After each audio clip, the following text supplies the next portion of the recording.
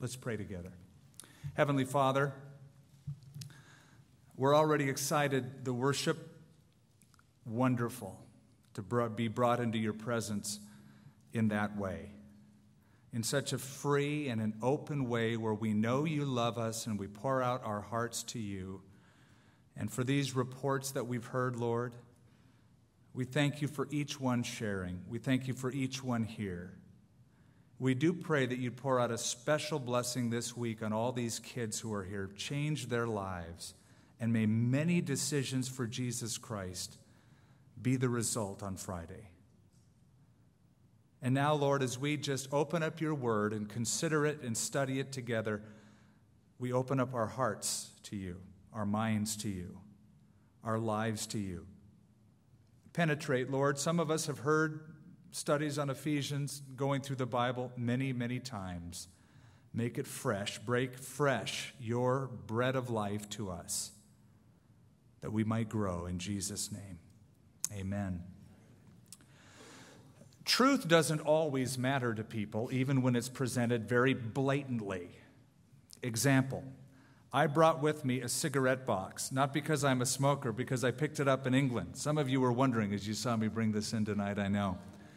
But this was, uh, I found it in, on a street in uh, England, the UK, and it's got some very interesting letters on it. Not only does it say the name brand of the cigarettes, but in large letters it says smokers die younger. It's a very blatant warning on the front smokers die younger. And then on the other side, smoking seriously harms you and others around you. So it's interesting to see people go into the store and pick these things up and smoke them, disregarding the blatant truth that's on the label. Smokers die younger. You're going to hurt yourself, you're hurting people around you. Well, England and Scotland are also full of churches. Full of truth, you might say. At the front of every church is a large Bible. It's often opened up. There's banners with words written in many of these churches that have been there for generations. But largely, that blatant truth has been disregarded and passed over. And many of those churches in that country are dead. If you go to downtown Glasgow, this, the city saying that used to be on all of the lampposts Written everywhere in the city were these words Let Glasgow flourish by the preaching of his word and by the praising of his name. As the years went by, they took off the last part. And now the sign just reads, Let Glasgow flourish. But there's no preaching of his word and no praising of his name. And it's become a very vile, violent city. Smokers, I have noticed, especially in airports, they congregate together.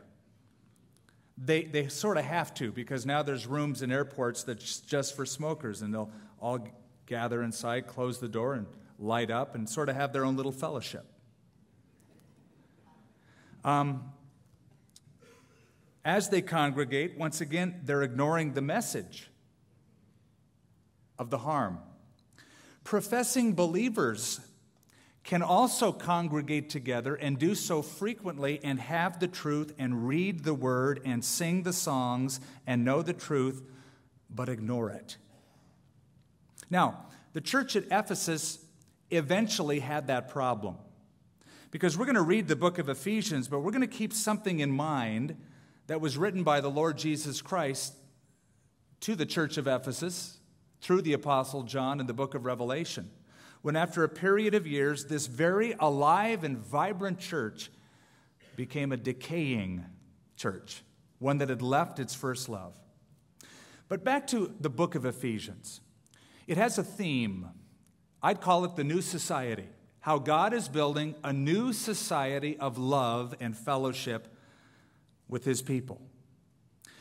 New life comes into Jew and Gentile, the new life produces a new relationship with a new standard.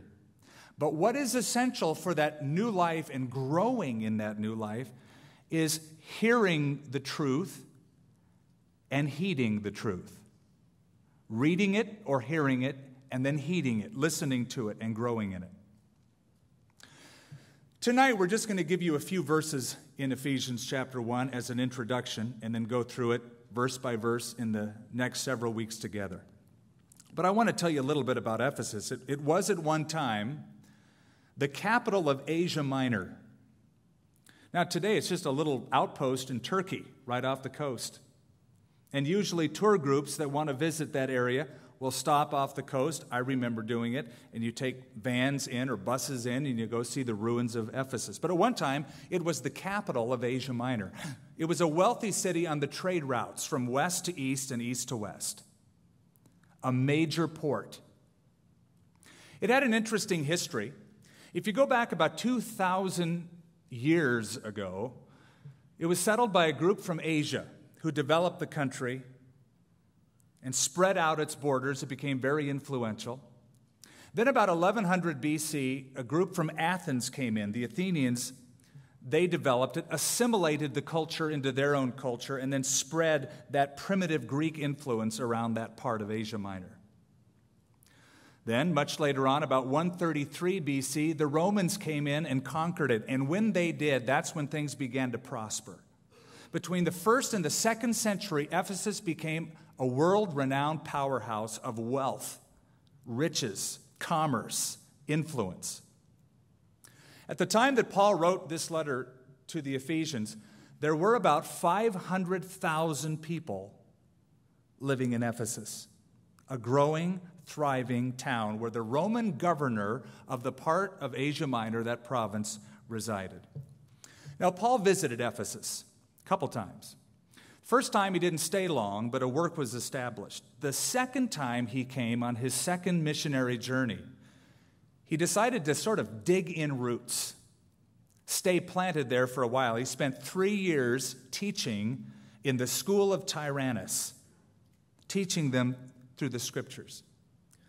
After he did that, he left again, and his last visit to Ephesus was as he was swinging back from Macedonia on the way to Jerusalem because he wanted to go to Jerusalem for one last time to give a witness. He had the elders of Ephesus meet with him not far from Ephesus on the beach, on the shores of Miletus. That's where he gathered these men together and said, I've given you the full counsel of God. I've taught you through the word of God. I've coveted no man's silver, gold, or apparel. And he warned them of wolves that would come in and destroy the sheep. But then he said, You're not going to see my face anymore. I'm departing. I'm leaving. I'm on my way to Jerusalem, even though I know the chains and persecution await me. I don't even count my life dear to myself. I want to finish my course with joy. They hugged, they wept, and that was the last time Paul saw their faces. He went to Jerusalem. He was arrested, and eventually he made his way to Rome. And that's where probably Paul wrote this letter from a Roman prison. Now, um, I mentioned that eventually the church of Ephesus suffered decay. It's indicated by what Jesus wrote to them Revelation chapter 2. You have left your first love. I know your works, your labor of love, your patience. You can't stand those who are evil. But you have left your first love. So, very quickly after the church was founded, within 25 to 30 years, it was already starting to decay from its original intention. So soon. So, Jesus wrote that, that letter. Church historian by the name of Eusebius tells us that the Apostle John finished out his last years in the city of Ephesus, and he spent most of his time warning them against false doctrine, heresies that were spreading so quickly through that part of the world. Then, by around the uh, third century, 263, when it was conquered by the Goths, nothing was left of it, no church remained, and the city itself was left desolate. If you ever get to go to Ephesus, however, it's really cool.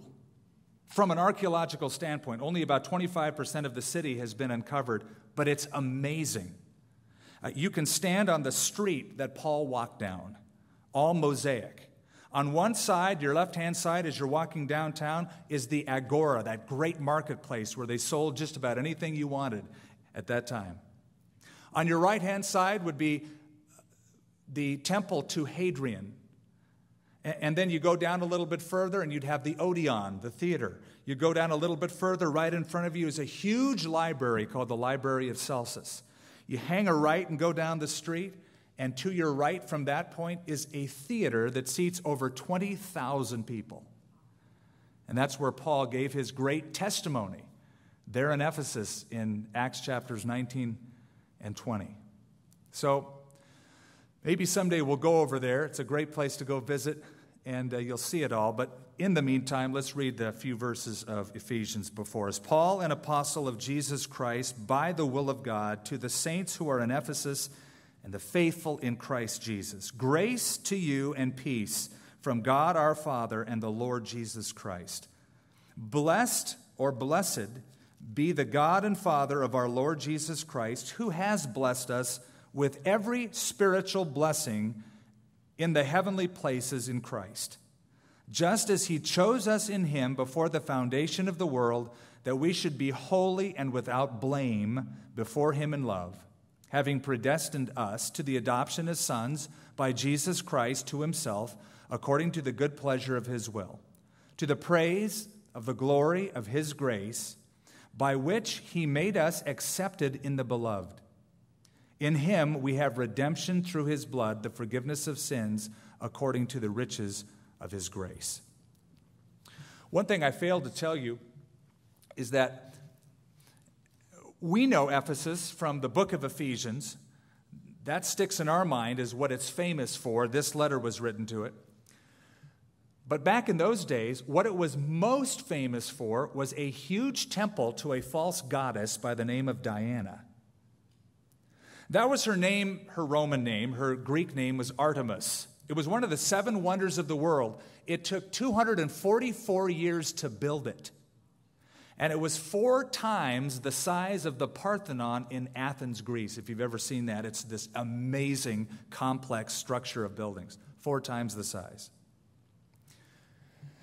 Artemis was sort of the patron goddess of young girls. She was worshiped in nature.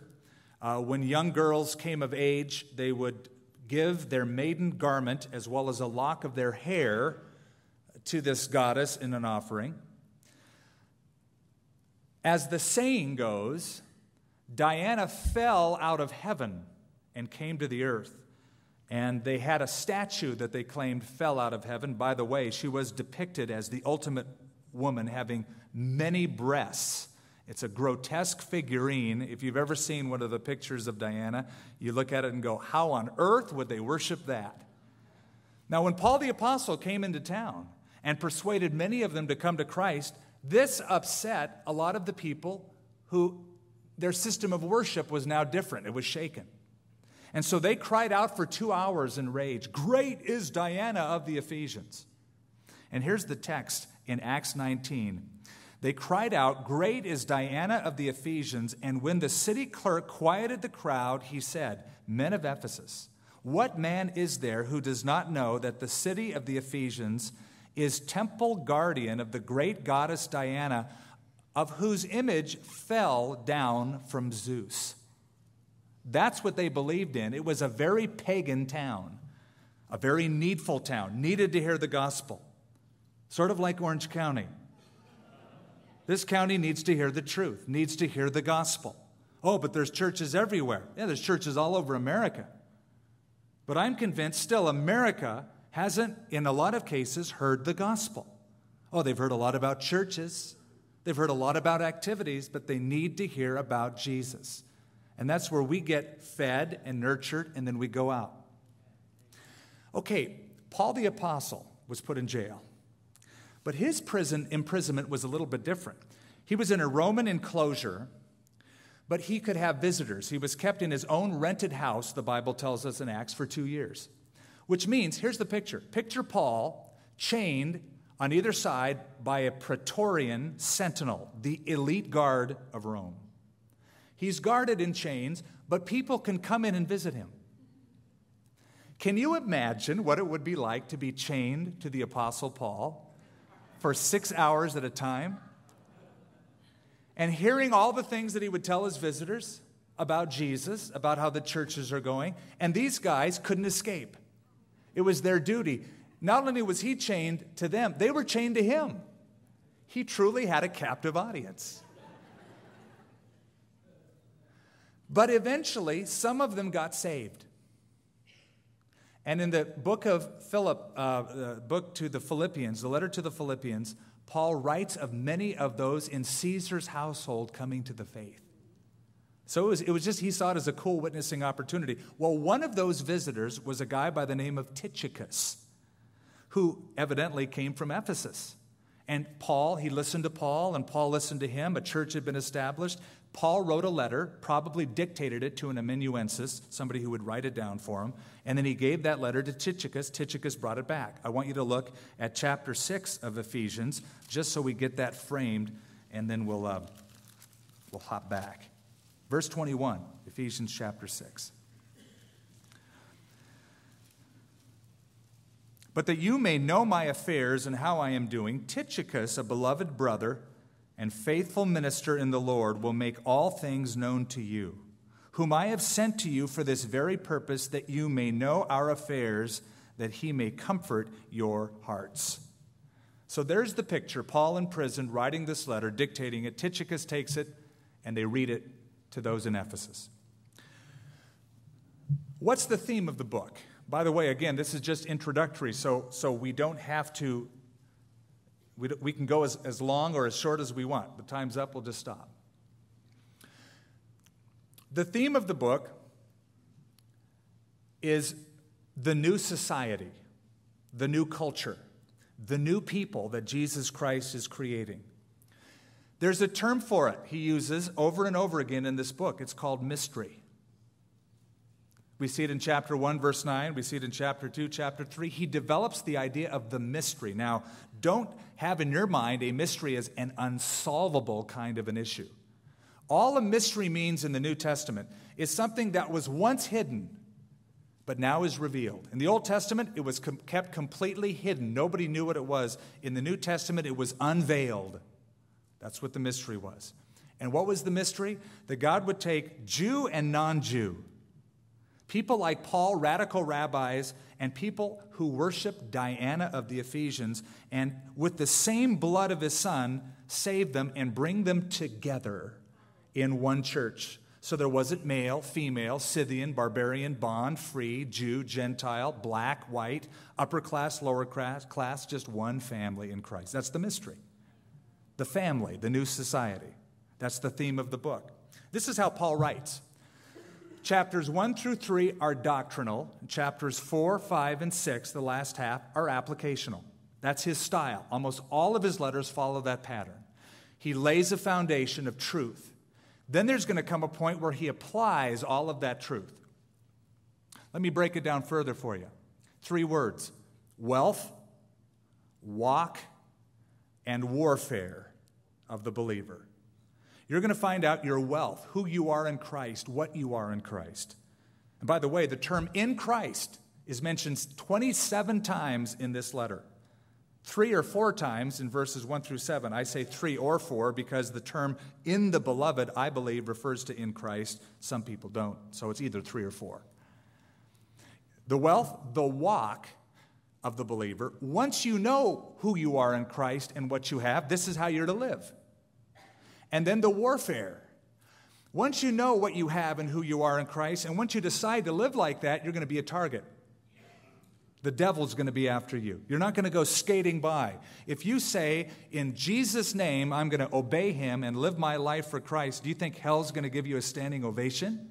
No, you're going to be a target. So you're going to learn in this book how to grow, how to walk, and how to fight. The good Christian fight, the warfare of the believer. Now, tonight, our theme is our, our, riches in Christ. And by the way, just another aside note um, the biggest banks in Asia Minor were in Ephesus, it was the depository for ancient wealth. It's important because Paul uses um, terms that come from the banking industry inheritance, fullness, and filled. These are words that come in their original language from that world. Have you ever been to an ATM? I don't know if you've had this experience. You put the card in, you put your code in, and then a little message comes up cannot process request insufficient funds. You go, what do you mean, insufficient funds? And you're kind of bugged. Or you write a check, check doesn't go through. And you're thinking, why doesn't my check go through? I've got 20 checks left in the book. Yeah, but there's nothing backing it up. It's no fun not to have money when you want it, but I think it's even worse to have unlimited wealth at your disposal and never use it. That's where Ephesians comes in.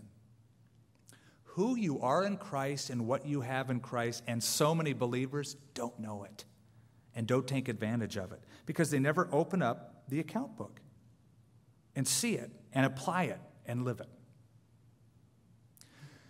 Back in the early 1900s, there was a gal by the name of Hetty, H E T T Y, Hetty Green. She was nicknamed America's Greatest Miser. She died in 1916. Her estate at that time was worth over 100 million.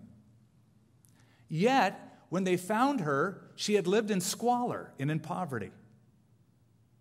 They said that she only ate cold oatmeal because she couldn't bear paying the money to heat the water. When her son got a severe leg injury, she spent her time looking around the city of New York for a free clinic. She waited too long, and when she found the free clinic, they had to amputate his leg because of an advanced infection. Cheap. She had unlimited wealth. A miser. Now, Ephesians is written to some Christians who might not realize how much is really in their bank account. And so, the first part, the next couple weeks, few weeks, we're going to look at our bank book. We're going to open up our account and look inside and see what is ours. Verse 1 Paul, an apostle of Jesus Christ, by the will of God, to the saints who are in Ephesus and faithful in Christ Jesus. He calls himself an apostle by the will of God. Question How did he know? How did he know that he was an apostle by the will of God? Did he just decide one day, I'm going to ha- hang out a shingle? I am an apostle. I like the sound of that word. The word apostolos means one who is sent out on a mission. How did he know he was an apostle of Jesus Christ by the will of God? Well, because he had a unique experience. He used to be an apostle of Judaism, a guy who did not like or believe in Jesus Christ as Messiah. He was on a trip one time from headquarters, Jerusalem, going 160 miles north to Damascus. You know the story. God got his attention. He's on his back looking up to the sky. And Jesus says, Saul, Saul, why are you persecuting me? And he asked a very important question Who are you? Lord. And he said, I'm Jesus whom you're persecuting. And then he asked the second most important question anybody should ask after, Who are you, Lord? What do you want me to do? That question began his discipleship, his apostleship as an apostle by the will of God. Because right after that, he went into Damascus, he met with a man who gave him further instruction, and he knew by that conversion and by that experience that he was called as an apostle of Jesus Christ. Upon conversion, he asked for instruction. I wonder if you've ever gotten around to asking that question about your own life Lord, what do you want me to do? You know, many Christians live unproductive lives simply because they've never asked the question Lord, I'm yours. You bought me. What is it you want me to do? Paul didn't choose his occupation, nor did a church in Ephesus or Philippi or Thessalonica choose his occupation. The Lord Jesus chose his occupation and it's wonderful to know who you are by the will of God.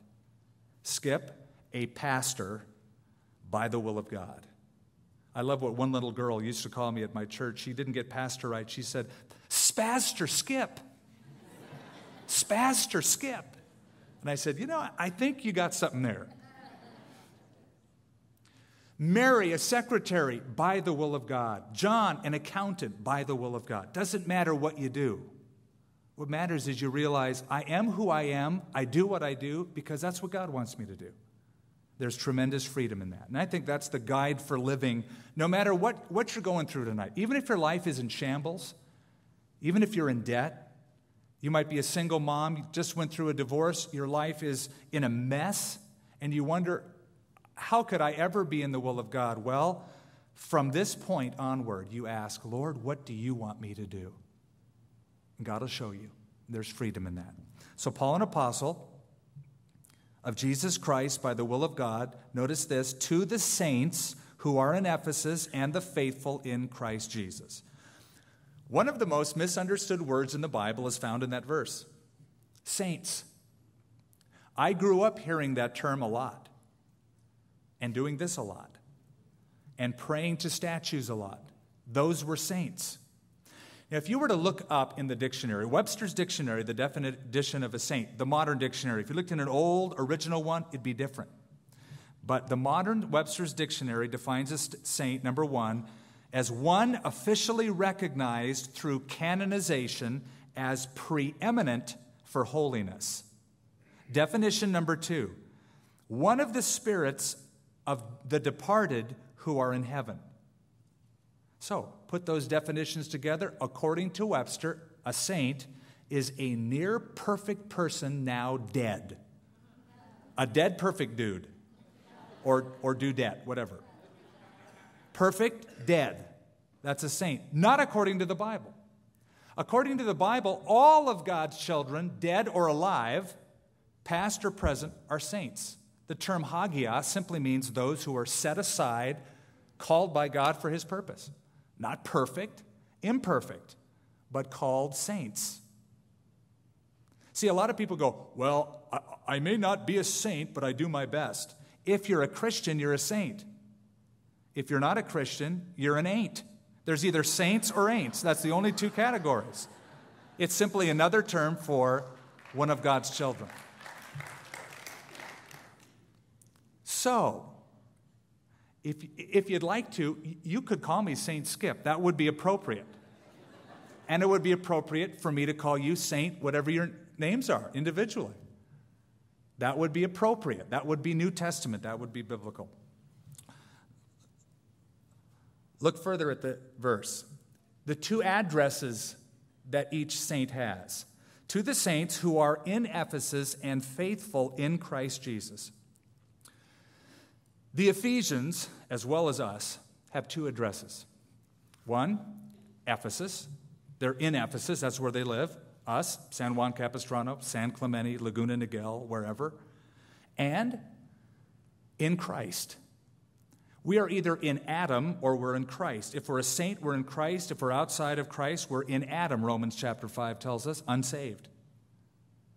So, according to God, we have two addresses our earthly address and a spiritual address, and that spiritual address is either in Adam or in Christ. Paul's address was in Christ. But we also have a physical address. In whatever town we live in, in whatever county we live in, whatever state, whatever country, we have a dual citizenship and thus a dual responsibility to fulfill our duty as a heavenly citizen as well as an earthly citizen. It's walking that balance between earthly citizenship and heavenly citizenship, both realms. You see, Jesus, you remember when he prayed in John 17, he was praying for his disciples. He said, Father, I don't pray that you take them out of the world. I pray that you'd keep them from the evil one while they're in the world. I've always loved that prayer. He didn't say, Father, help them find hideaways, caves, where they can store up wealth and store up food and, and get prepared for Y2K or whatever might happen. It is the will of God, it's His insistence that we live side by side with all of the paganism and all of the filth that surrounds us in this world. Because He wants us to be a witness, a light to shine in a dark place. In Christ, in Ephesus. I remember in the Jesus movement, speaking of Daniel Amos, I was uh, going to college at the time, and uh, I remember a lot of people from church uh, saying, You're going to college? Why? Jesus is coming back before you graduate. You'll never make it through. What a waste of time. And I said, If Jesus comes back before I graduate, guess what? He'll find me in college, witnessing to people who may not come to church, but they'll only come to college. That is their church. God needs witnesses there too. He said, Occupy till I come. So that dual citizenship, be responsible here on earth as well as being prepared for heaven. And it says, the faithful who are in Christ Jesus. Now, there's a further description of a saint. Uh, a saint, a child of God, isn't just somebody who carries a Bible, sings a song, shouts hallelujah, and feels good when they gather together. It's someone who's faithful, faithful to Christ, faithful to each other, faithful to their church. Are you faithful? I'm not asking you if you're perfect, because no one is, but are you faithful to the things of the Spirit? Then, verse 2 grace to you and peace from God our Father and the Lord Jesus Christ. Notice that Lord Jesus Christ. Title, name, mission. His title, he's the Lord.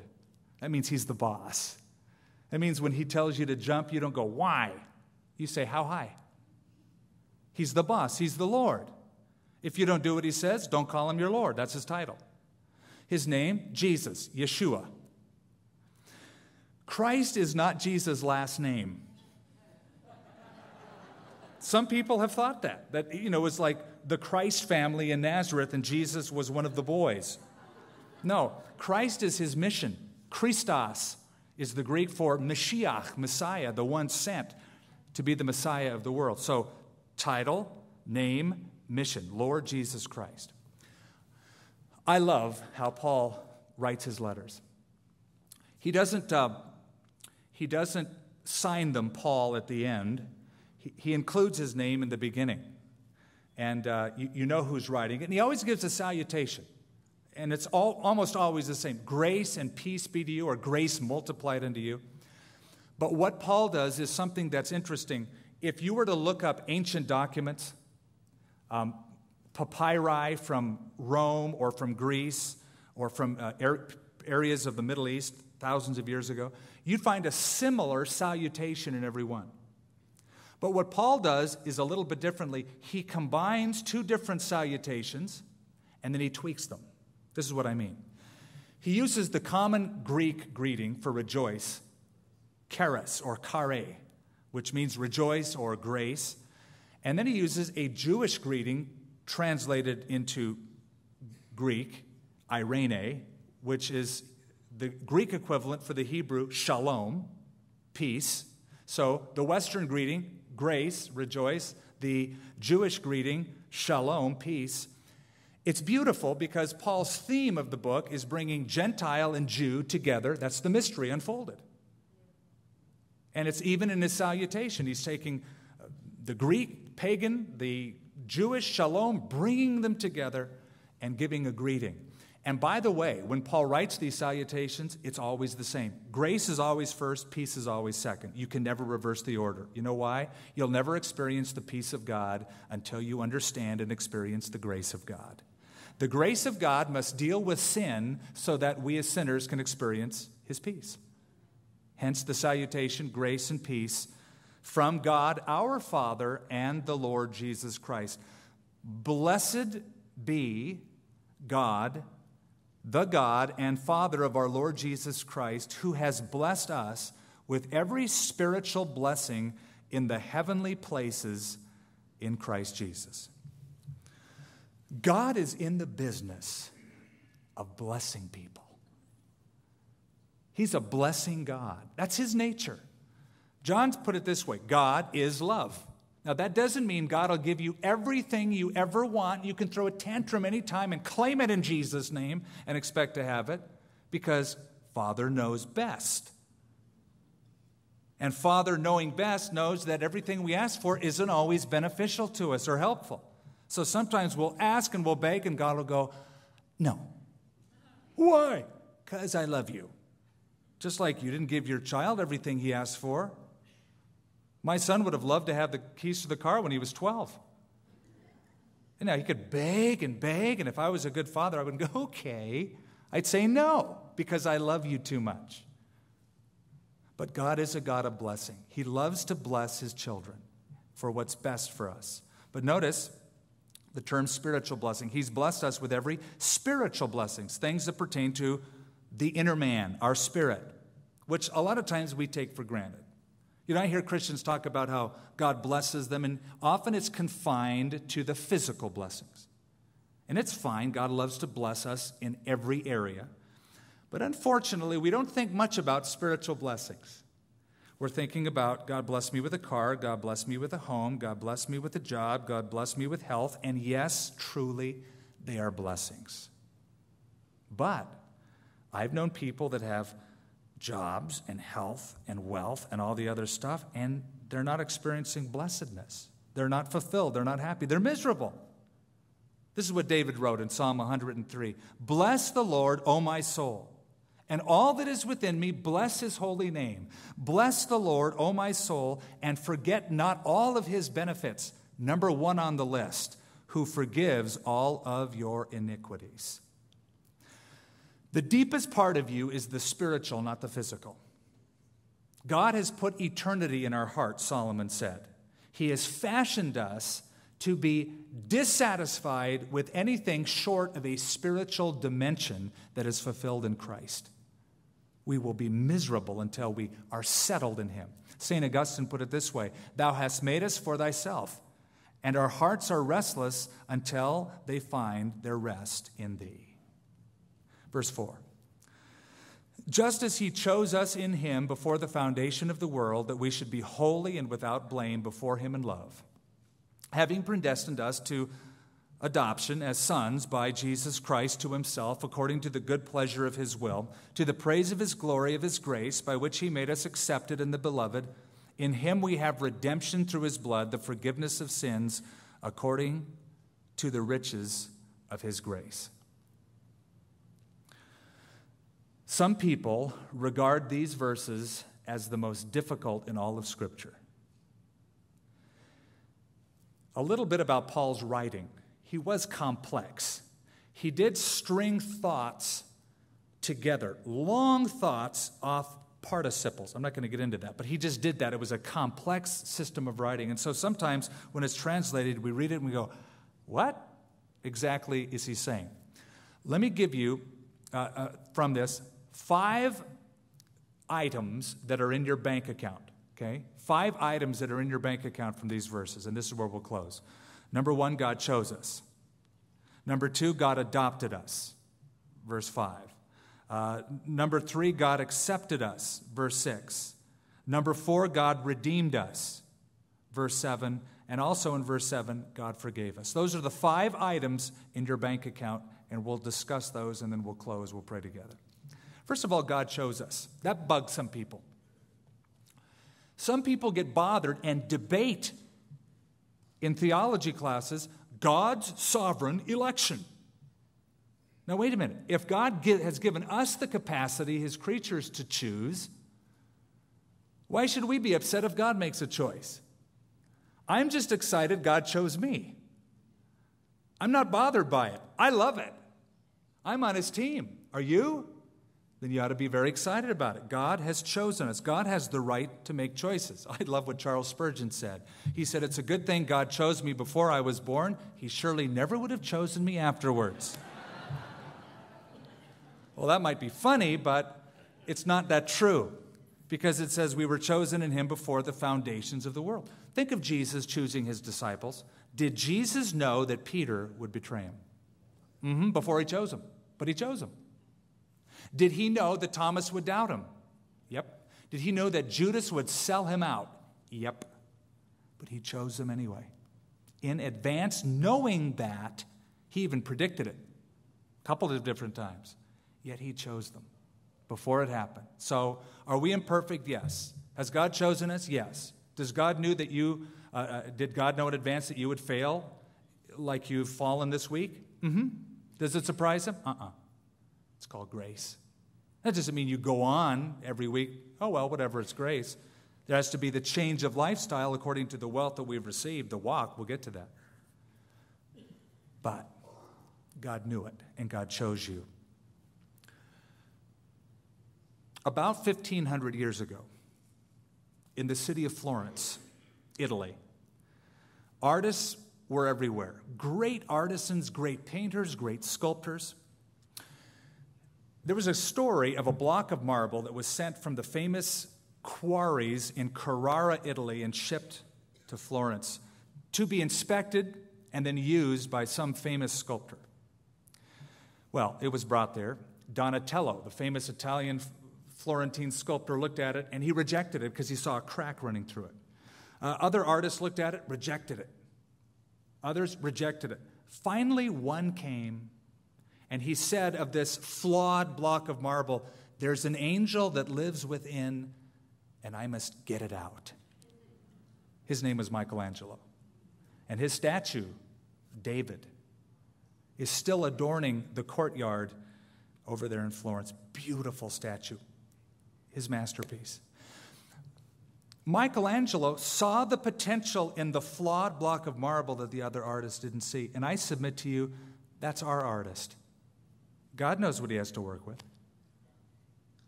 He didn't say, Wow, you amaze me. He knows us. But he chose us, even though he knows us with all of the flaws, and he sees the potential in your life. He sees not just who you've been, not just who you are, but what he can make you from this day forward. That's what he has in mind. So he has chosen us in Christ. And he's chosen us before the foundations of the world, that we should be holy and without blame before him in love. This, this also bothers people that, that God can choose us before we were ever born. How could God ever choose people before they had a chance to choose Him? I'm not going to solve the riddle, but I'm going to give you a word that helps foreknowledge. God has an attribute you and I don't have. It's called foreknowledge. He happens to know everything before it happens. He's not learning, he never goes to school. There's no limited knowledge of God. He knows absolutely everything in advance. And he knows who's going to choose him in advance. And so, it says in Psalm 90, we spend our years as a tale that has been told. And Peter writes, 1 Peter 1, verse 2, we are elect according to the foreknowledge of God the Father. Picture it this way you're walking down a hallway, you see several doors. You could choose any one to go through. But you see one sign on a door that says, Come. It's an invitation for you to come. It says, Whosoever will, let him come. You open the door because you chose to go in. Then you see a big banquet table spread before you, and lo and behold, your name written on a name tag at the place setting. And you think, wait a minute, they knew I was going to come? And then the door closes behind you, and you see another sign on the inside. This time it's written, Chosen in Christ before the foundations of the earth. Well, wait a minute. I, I made the choice. Yeah, you did. But God knew you'd make the choice. God, made the, God chose you, he told the disciples. I chose you, and I ordained you. Now, some people hear that, and they say, That's not fair. Why isn't it fair? Well, maybe God didn't choose me. Hmm. Well, I'll tell you what, I'll prove that God did choose you. Choose you. How? You choose him right now, and you'll discover that God had already chosen you before the foundations of the earth. well, I don't want to choose God. Well, why not? I don't know if I believe or not. Well, then don't blame God. Because if you choose him, you'll find out you've been chosen in Christ. Whosoever will, let him come. Come unto me, all you who labor and are heavy laden. I don't want to. Maybe you're not chosen then. But the choice is up to you. That's why the Bible sets before us the sovereignty of God, but the choice and free will of man. So God chose us. Number two, God adopted us. Uh, refers to being an adult son. We'll probably get more into that because it's mentioned a little bit later. God accepted us. Uh, look at it in verse 6 to the praise and glory of his grace by which he made us accepted in the beloved. Here's the point you can't clean up your own act and make yourself acceptable to God. He accepts you. By the way, I don't want to get hung up on the terminology, but a lot of times we say, Have you accepted Christ? You know what? You don't accept him. He accepts you. Oh, you receive him, as your Lord and Savior. But it's not like, well, here I am I, I'm the judge of the universe, I accept Christ.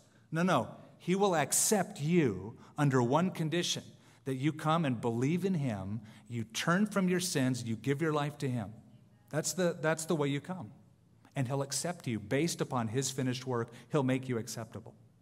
Then He's redeemed us. Verse 7 In Him we have redemption through His blood.